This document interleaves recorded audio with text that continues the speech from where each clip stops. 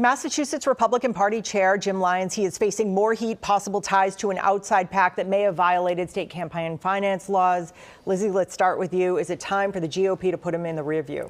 It's time for new leadership. Most importantly, we need to rebuild candidates in the party that have a future of getting elected and actually have the party come up with a message that can bring a coalition together. Mary Anne. Massachusetts Republicans were an animal. They would be on the extinction list thanks to Jim Lyons. All right, let's go to best week or worst week. Lizzy, you go first. Going to keep it local and uh, worst week for Jim Lyons. Like I said, it's time for uh, new leadership and for the party to turn the page. And we'll know soon. Worst week, Supreme Court, who investigated itself, couldn't find out who leaked that Roe v. Wade document early. So I guess justice is only blind when it comes to the Supreme Court. But they tell us that investigation continues, apparently. Sure. All right, Mary Anne Marsh, Lizzy Guyton, thank you both for being with us. And thank you for making us part of your weekend every Sunday. We go on the record.